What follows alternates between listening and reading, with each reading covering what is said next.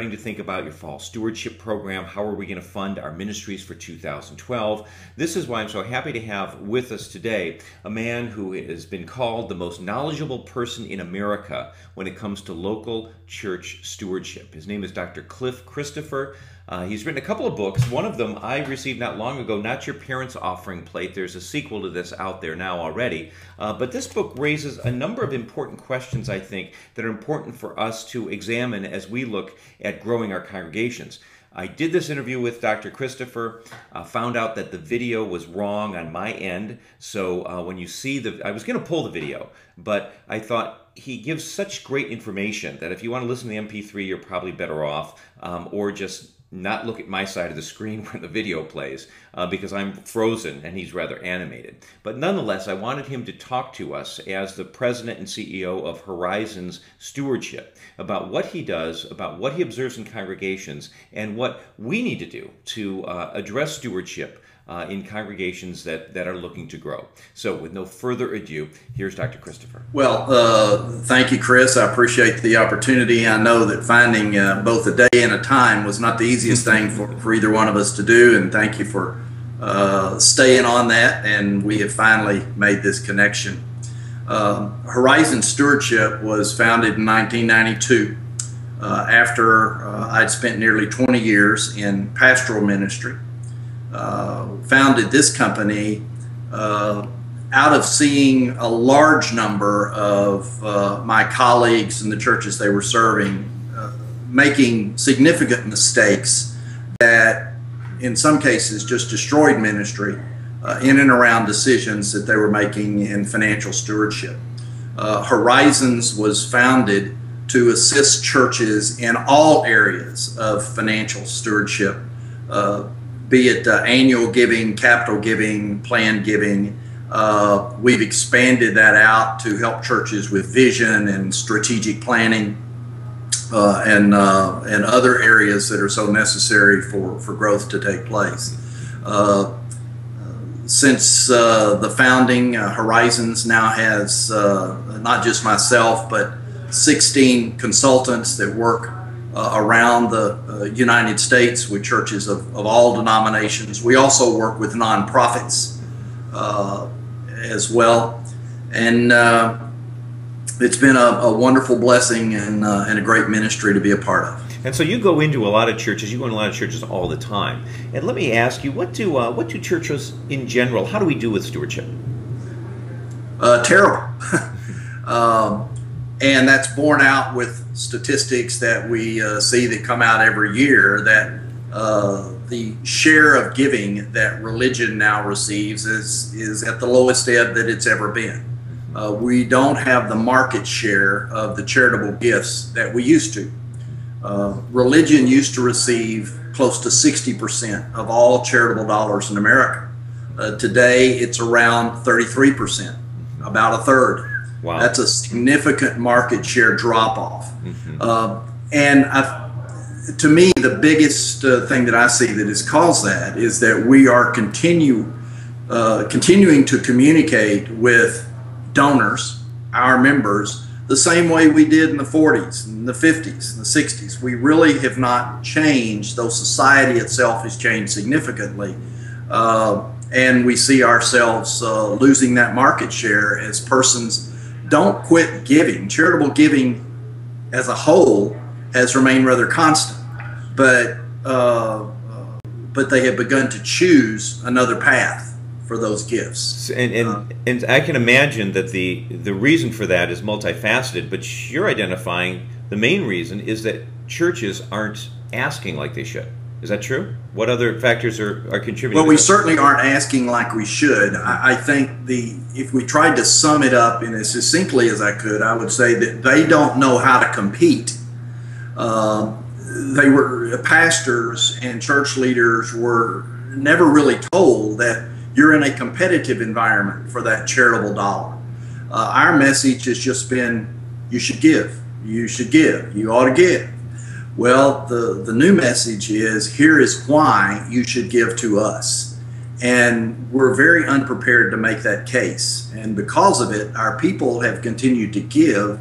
They have just shifted many of those funds uh, to nonprofits and other charitable areas. Mm-hmm.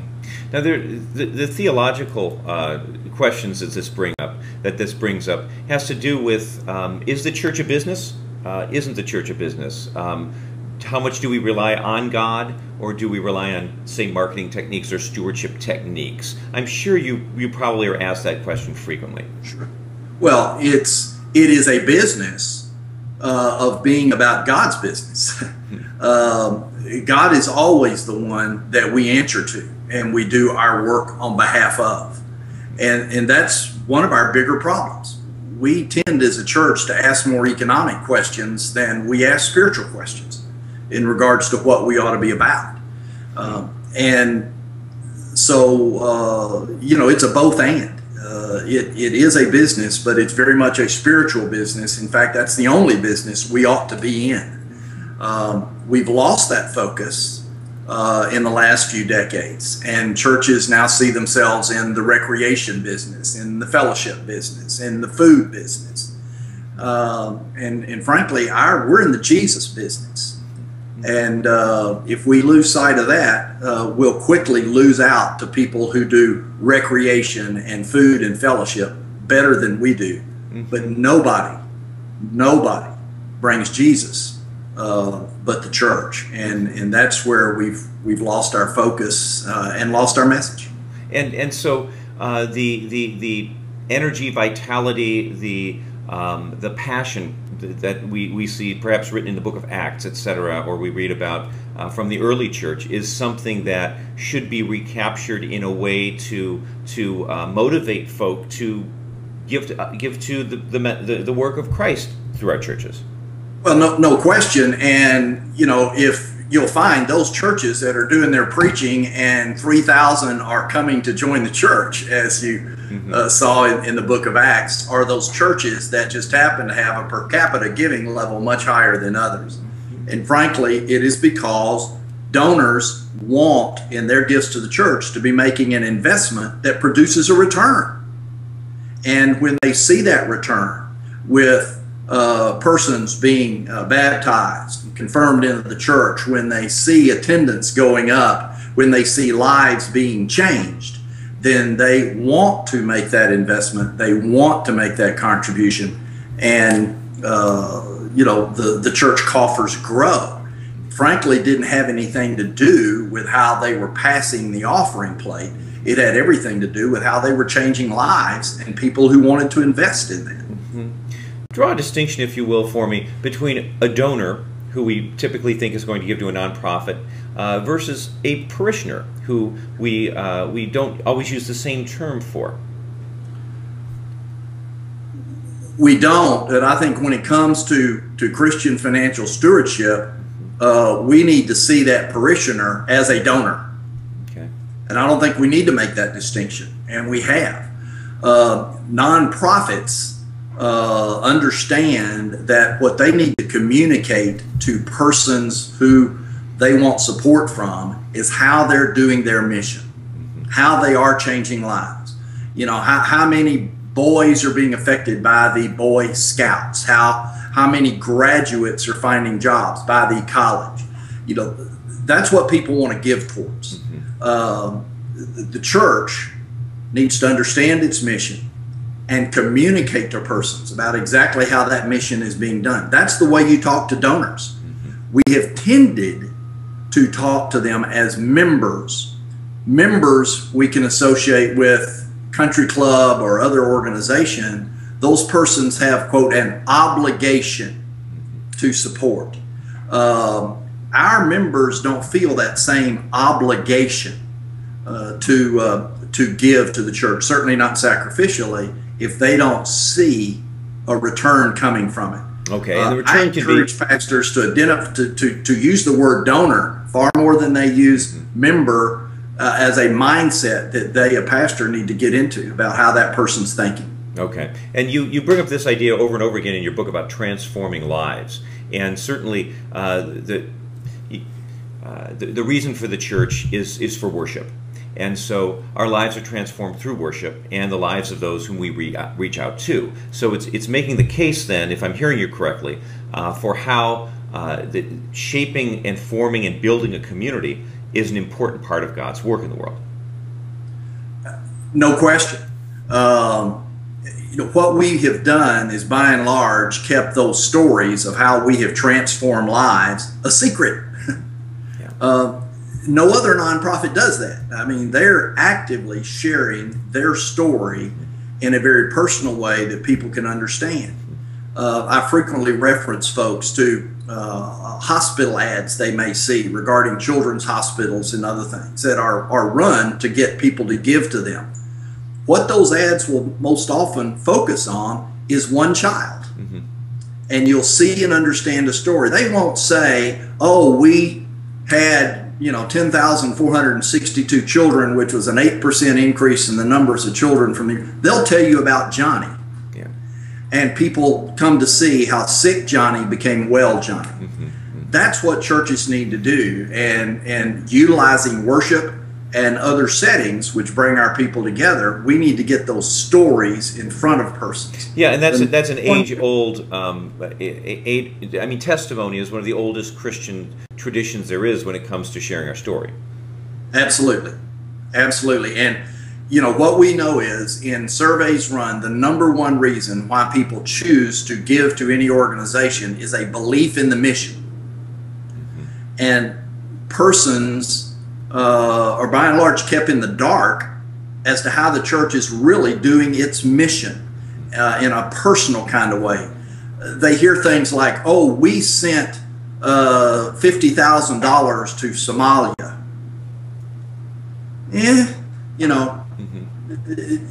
Tell me the story of how a child over there was affected by what we did, those sorts of things. That's that's what we need to learn to do. And uh, we tend to fall back on saying, well, we don't want to get that personal. People know they just ought to give, and that's just not true anymore. Mm-hmm, mm-hmm. You, you, you you've got a lot of things going off in my head. We can take this a lot of different ways, but one thing I want you to do is to take me inside of, I won't say my congregation, um, but I will say a typical congregation, uh, which, which, as you know, you know, 80% of America's churches are plateaued, uh, not growing, um, or declining. Yeah. And stewardship is often a main part of that.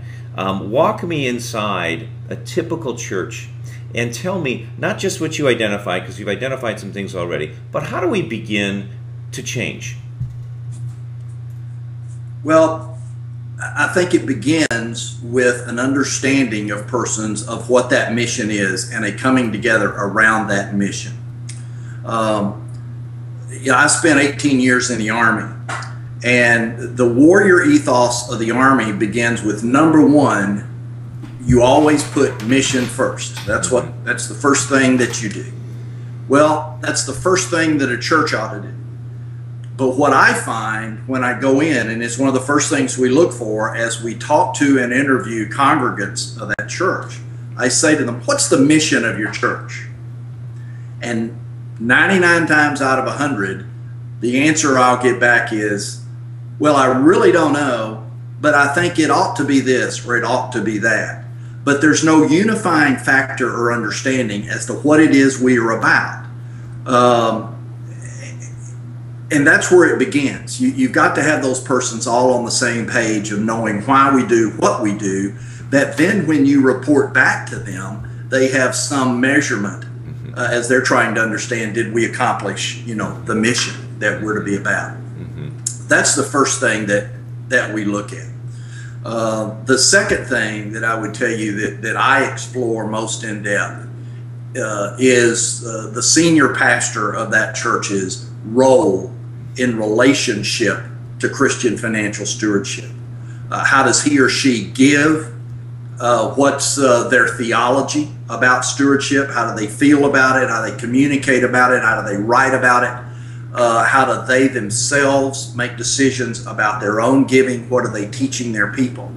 Um, if we don't have uh, a leader who is solidly committed to Christian financial stewardship, personally and professionally, you know, might as well just turn around and go home because whatever you recommend and, and seek to try to do in that church will fail. Mm-hmm. It will not. Well, chances are you probably didn't get to that church without the senior pastor inviting you in, so that she's probably already read about what you do and is already in favor of it. But there are probably some adapt adaptations to the, the senior minister's uh, behavior that you might uh, point out, huh? Yeah, there really is. And, and in fact, you'd be surprised at the numbers of them who call because, one, there is a problem. Mm-hmm. And they're frankly hoping that we can fix the problem mm-hmm. without having to deal with them personally. Okay. Uh, and, and, and that's a very uncomfortable place to be and, and a very difficult place to be. Well, go into uh, that a little bit because I, am a pastor of a congregation myself, and many of our listeners are pastors maybe we're not seeing some of the important things that we should be looking at in terms of self reflection. Well, certainly we've got to look at our own giving, and and you know I'm not a legalist in regards to tithing, but if a pastor is not giving at least ten percent of their income back to the Lord's work, I really want to know why have they chosen to invest so little what's going on that they have made a decision not to do that. Uh, I want to hear from them what what is the theology you're operating from that says that you should give lower than that benchmark. Uh, so that's that's certainly one of the measuring sticks that, that I use. Um, you know, I find a number of reasons for that. The, the most oft given reason is that uh, my own personal finances are so messed up and have been for years that I, I can't and I don't know how to get there. Uh, they've just made terrible financial decisions in regards to debt, et cetera. Had a pastor uh, in my office uh, not too long ago had $60,000 worth of credit card debt. That pastor is not going to preach on Christian financial stewardship. That pastor is not going to give like they should. Uh, they're just going to stay away from it because their the sin is so great in, in their own life. And so the congregation is going to suffer as a result. Absolutely. Mm-hmm. mm-hmm. So, you know, that person has more ability to control the outcome of something than, than easily any other single individual in that congregation. So it, it gets a great deal of, of my focus.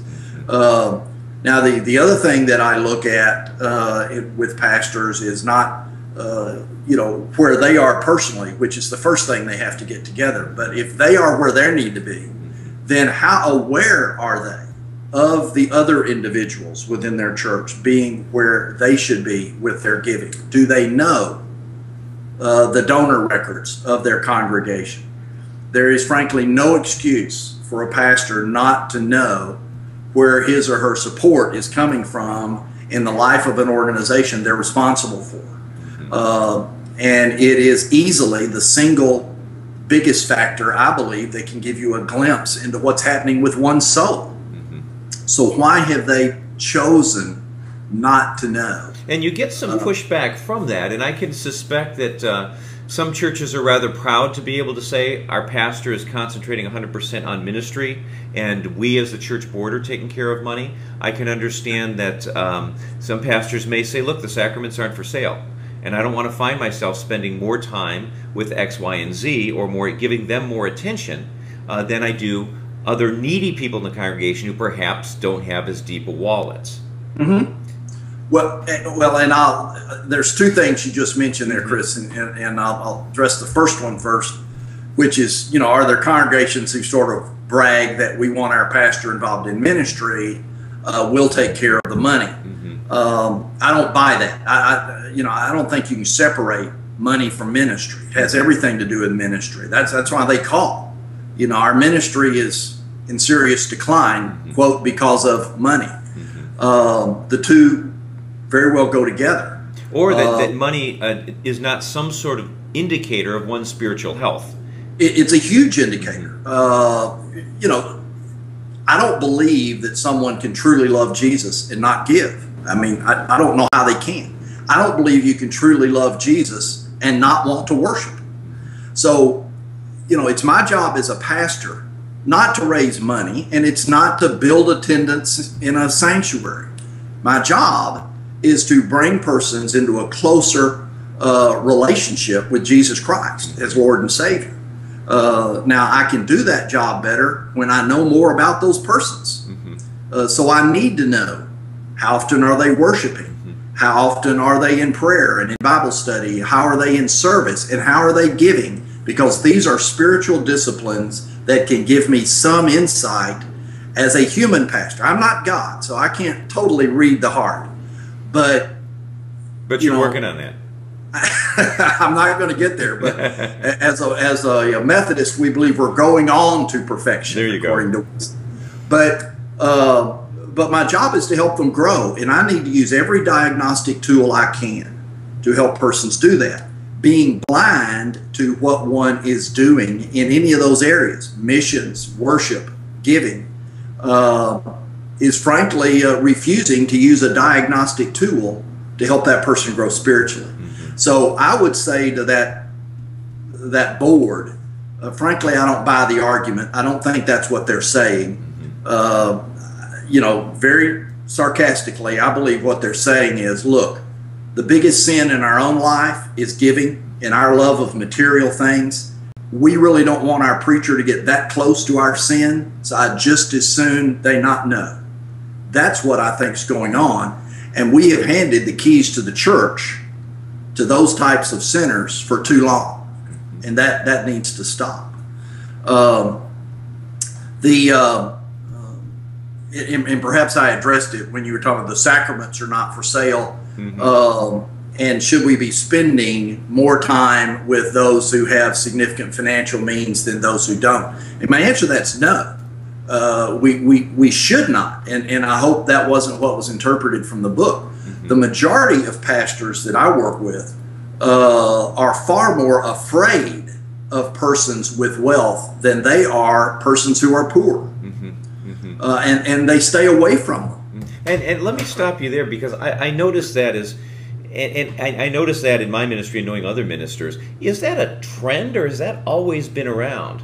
Um, certainly, go ahead. Yeah, I think it's always been with us. Okay. Uh, and because the wealthy in, in any society or those of significant means uh, are a small percentage. Uh, so, uh, you know, when, when a pastor uh, is seen or spends intentional time with, with persons like that, the, the perception is that uh, you're ignoring 90% of the rest of us, and it kind of gives us a good argument to uh, justify other behaviors that, that may not be appropriate in our own life. Uh, but pastors were, were sort of taught for years to quote, don't pastor your money. Uh, and, and the reason they were told not to do it is it'll keep you out of trouble. People won't, won't gripe and they won't grumble and, mm-hmm. and whatever. So be sure that you don't pastor your money. Um, meaning spend most of your time with, with uh, the wealthy folks. Which, if you're spending time where you need to spend it, uh, they're not going to get the majority of your time, mm-hmm. but they are going to get some.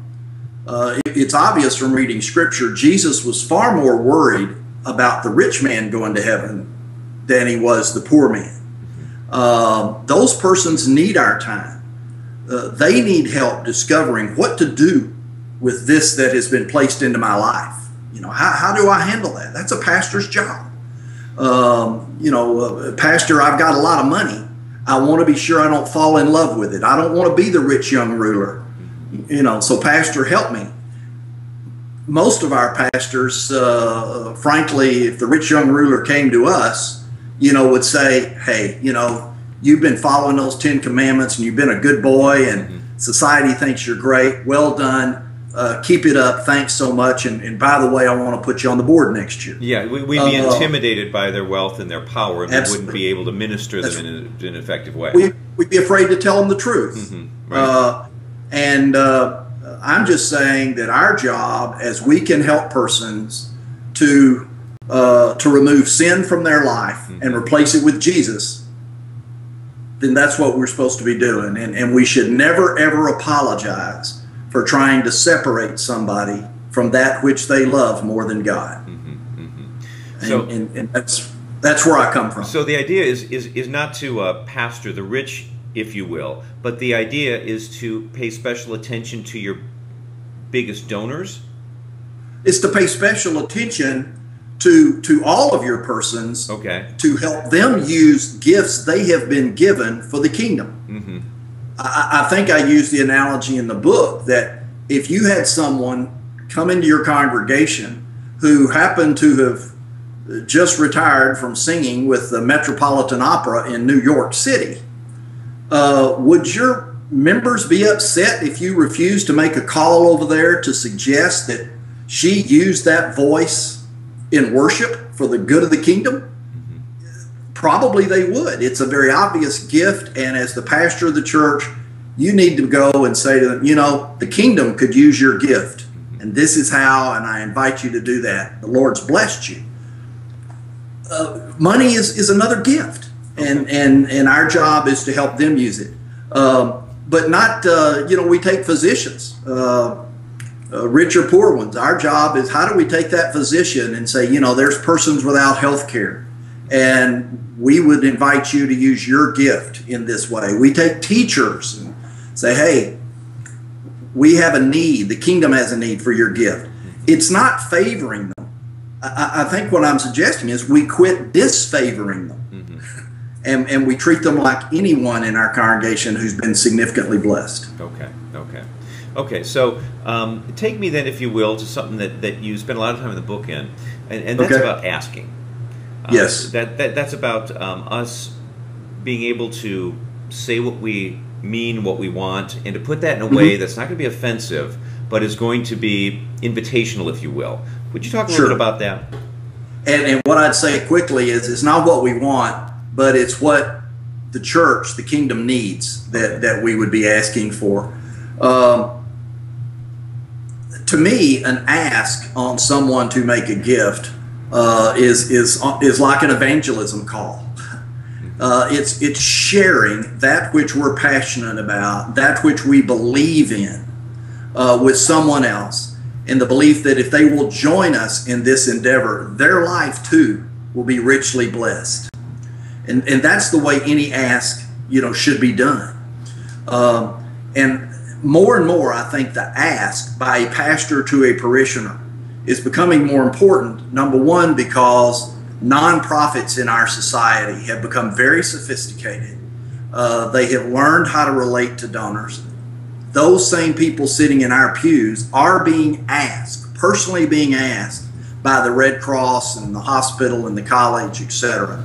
And they have become very accustomed to someone sitting down and sharing of what it is that's needed and how they might help and inviting them to be a part, with the exception of the church. Uh, so, you know, I happen to believe that the cause of the church is more important than any of those others that I mentioned, who are vital and, and wonderful uh, uh, ministries, but the church is 1st mm-hmm. uh, we need to get in line. And we need to say to those persons, you know, we could really use your help here and a gift like this would make this kind of difference and this kind of impact, and, and I would invite you to consider that. Uh, is not in any way, you know, inappropriate. Uh, I think it's inappropriate if we sit down and we say, now, now, Chris, what you ought to do is this, or what you have to do, etc. Uh, you know, that's that, that that kind of language and that kind of attitude is is inappropriate and will be rejected.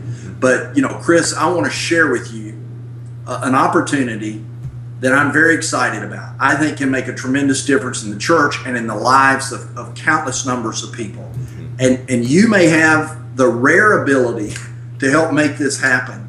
Uh, and let me share that with you. And, and I do. And then I would say, uh, you know, I would hope, Chris, you might consider, you know, a gift of such and such that would allow that to, to take place. That's the kind of conversation they're having with the president of the college, with the executive director of Boy Scouts, and et cetera, et cetera. Uh, people of significant means. And we're just not in that line. And, and I want us to get there because I think that's preventing us from getting the gift.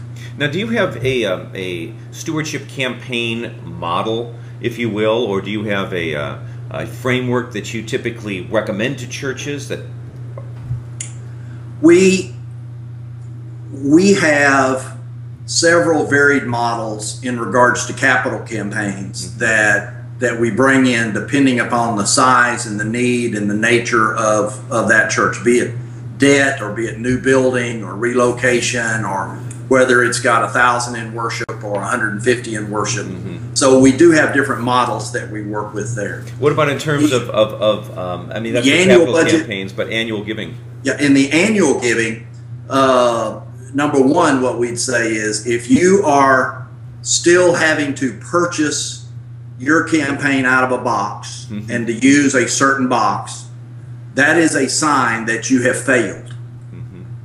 Uh, you have failed to grow stewards as it should be.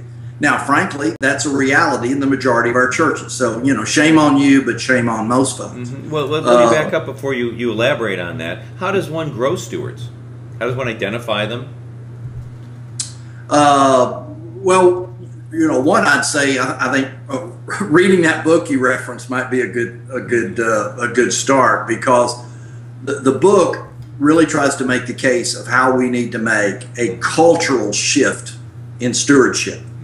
Um, and sometimes persons will say, well, well, you know, can you give me an example of sort of who's done that, who, who's doing it? Yeah. Uh, just walk into any Pentecostal church you see, find an assembly of God. Uh, they don't have annual campaigns. It, it's a part of their DNA. Mm-hmm. Uh, go visit with the Mormons. Uh, it's a part of their DNA. Now, in many of our mainline denominations, it was a part of their DNA when they were established. Very high expectations, understanding of what they should be. Mm-hmm. Over uh, decades upon decades, those churches, frankly, have lowered standards, lowered what membership really means. Mm-hmm. Persons now come in and they want to be a member, but they don't understand they're called to be a disciple. Mm-hmm. So it's frankly redoing that culture to where persons come to understand being a part, marrying into the body of Christ, is being a disciple that carries with it high expectations that's where I want us to go. Not this is the best box out there. Go buy it, you know, and run it. Right. So you would Until have we, any any person who just joins the church, etc., or has has just begun attending. You would have some sort of a pamphlet or some sort of sheet or some sort of statement that says, "Here's what we understand financially in terms of what being a member is about." I, I would. I, I strongly believe in membership classes being required of all persons prior to joining the church. Uh, e- extensive classes that when those classes are done, those persons are signing covenants as to how they'll live out their faith. Not, you know, we're not saying you've you've attained, uh, you know, the, the highest level of spirituality, right. Mm-hmm. but I'm I'm joining this church and I'm going to covenant to do this in service and mission outside the walls of my church. I'm going to covenant to do this uh, in my own educational growth and development. But isn't, isn't that going against the grain of where really society is? I mean, we're not a nation of joiners as we used to be. We have a lot of people who turn up even when nonprofits have events, and they, they don't necessarily want to want to even give you much detail about who they are, but they want to come, yeah. they want to be a part of it. But there, there's really this kind of pushback against membership. Do you see that? Yeah. Mm-hmm. Oh, I do see it. Uh, I'm not there. I'm, I'm not an advocate of that. I, you know, I see more persons living together today versus getting married. Right, I right. You know, I, I don't believe that's the way we need to go as a mm-hmm. society. I think that society is best served and persons are best served when there are genuine commitments made mm-hmm. between that man and woman that, that we call, uh, you know, marriage right. versus mm-hmm. let's just live together. Uh, uh, though, you know, uh, I'm not going to say to somebody, look, you've been you've been coming here for the last eight weeks, so you know either put up or shut up. You know, we don't. I would never want to go there. Right. But I'd want to say to them, look, you can attend forever. Yeah. Forever. Mm-hmm. Uh, and and and call us if you need help. Uh, join us for any of our our studies. Uh, be in worship with us. You know, anything you'd like to do. At the point you want to join, however, we want you to fully understand what being a disciple of Christ and making a commitment to Christ is all about. And therefore, we have these classes of which Christian financial stewardship is but one part. You know, worship is certainly a key part of that, missions is a key part of that. Uh, their own nurture and development. Um, and uh, you know that's that's exciting to me. Uh, when I see a church that says, uh, "Oh, we had 900 in worship," how many members do you have? 550. That's exciting. Mm-hmm. Uh, they've got 550 committed disciples, and they got 400 others who are coming regularly, you know, studying on that. Sure, uh, sure, sure. That's a church that you're going to find giving far above average, and you're also going to find that church giving itself away in society and the world in some great ways too. What's your definition of stewardship? Uh, I, you know, simply put, stewardship is understanding that we are but the trustees of that which belongs to someone else, and it's it's how we choose uh, uh, to use it uh, as the owner would have it be used. Mm-hmm. Uh, which is why I, I, I, frequently will say Christian financial stewardship versus just stewardship, because we're to be stewards mm-hmm. of other than money. Mm-hmm. Uh, you know, all has been a gift of God, yeah. and and uh, you know, much like uh, that opera singer should be a steward of that voice, mm-hmm. and her question should be, "How does God want me to use it?" The wealthy man is should be a steward of his wallet. How does God want me to use it? Why do you suppose that's so hard for us to get? Well, number one, we're constantly bombarded with a message that it's not in giving away, but in acquiring that we'll really find happiness and joy. Everything tells us to do that. Uh, and sadly, many of our churches succumb to that just so that our people won't be upset with us. Mm-hmm. Uh, and, and we don't we don't push them to where Christ wanted them to go either. Mm-hmm. Uh, money has always been uh, the last thing that guarded someone's heart. Uh, you can get through just about everything else. And I think Billy Graham said, you know, the wallet is the last thing that sits between somebody's heart and God. And I believe that's true. Uh, uh, but it's difficult. Uh, you know, you look out here, you know, what are we concerned about today? Today, we're all concerned our 401ks are down, uh, market's way down, what's going to happen with the debt ceiling, et cetera, et cetera, et cetera. And we're having all kind of conversations about this as if our real salvation is in the 401k. Church is a nice thing, but the 401k is what's really going to do it. Uh, you know, I uh, church is a good thing, but I really need to have a certain size of house, and I need et cetera, et cetera, et cetera. Uh, that's not faith, and and that's not uh, that's not Jesus as Lord. Money is really Lord. Well, we're, we're, really living in a society that not only commands but um, but really rewards selfishness. And, and, and, and that, that's a very difficult place to lift up things like hope, things like giving yourself away, um, carrying your cross. Uh, sure. It, that becomes it. You know, uh, which you know is still the question, Chris, that, that I get and those that work for me get uh, almost every day from pastors, church leaders. They'll call us and say, "Do you think we should do such and such in our church with the economy like it is?" And the first question that we'll ask back is, "Well, what what do you believe the Lord is calling you to do? And it's very obvious that that's a question they've never asked.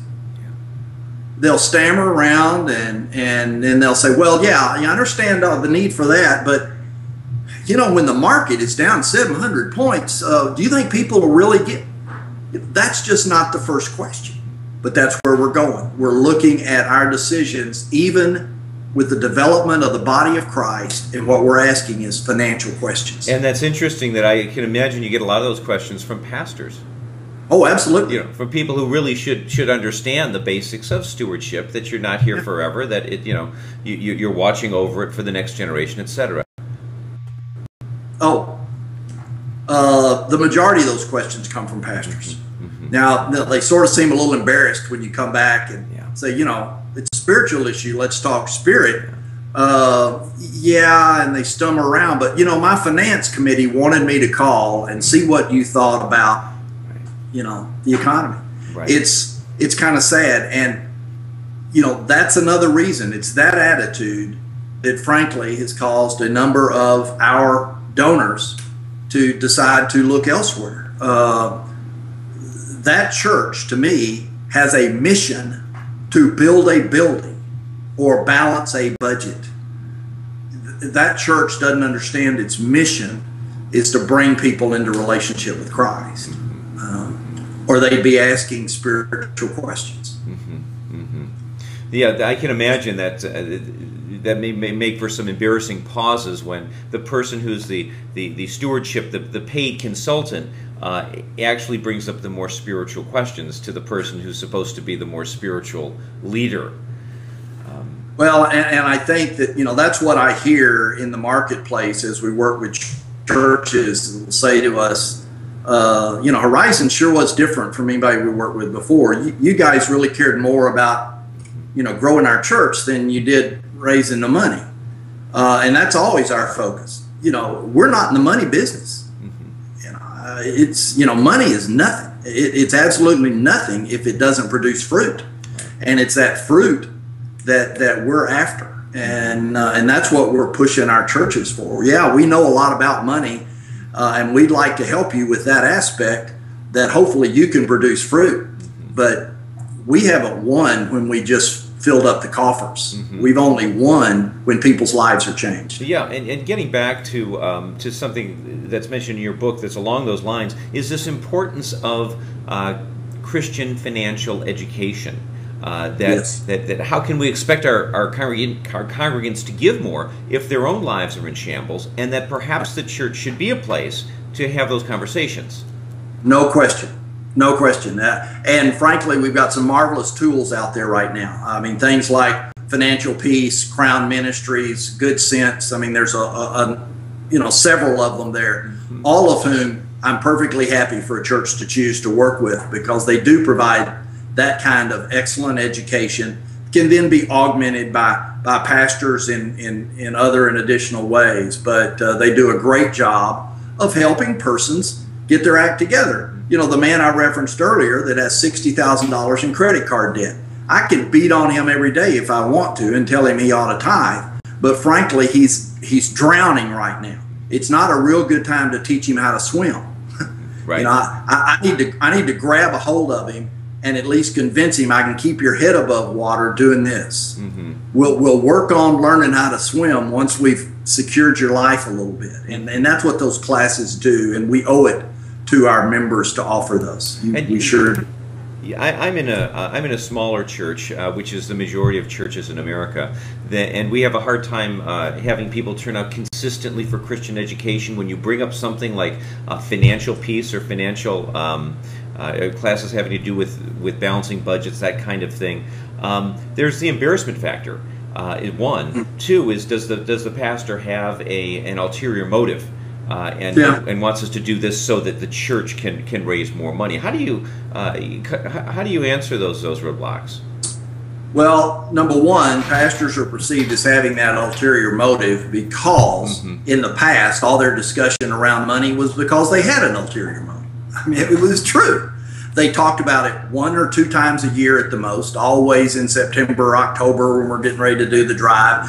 And then they almost made a point. So I'm not going to talk about it anymore. And I shut it down. And if y'all will just bring money in, you know, we're good. Uh, they just have not been seen uh, as spiritual leaders in regards to money in people's lives. Pastors who are seen that way don't get that perception of, of having an ulterior motive. Uh, the issue of persons coming, you're absolutely right. Uh, you know, I used to reference it's kind of like the marriage class. You know, that mm-hmm. you'd say, you know, uh, after church, if you want to sign up for the Get Your Marriage Fixed mm-hmm. class, you know, use the sheet in the back. Well, you know, there's a dozen people in your congregation have marriage trouble, but they ain't signing that sheet. No, they're going to be the last ones to sign it. That's right. They're they're they're embarrassed. Same thing used to be with money. Mm-hmm. It has changed in the last two or three years because of the recession. Mm-hmm everybody has lost. Everybody has suffered in varied degrees. Mm-hmm. Uh, and because of that, the perception is not, oh, I did something bad uh, because I'm in debt trouble. Uh, the perception now is society is really messed up, and I need to learn how to cope with it mm-hmm. along with everyone else. So when the church offers this kind of class, it, it's much more easily received you never used to have somebody show up at church and see a friend and you know, and say to them, hey, you know, you've been losing money in the market, you know. They didn't talk about it. Now they do. Yeah. And they say, yeah, me too. Boy, we, we all took a hit. So to some extent, we have gotten much more comfortable, Chris, and we can do it.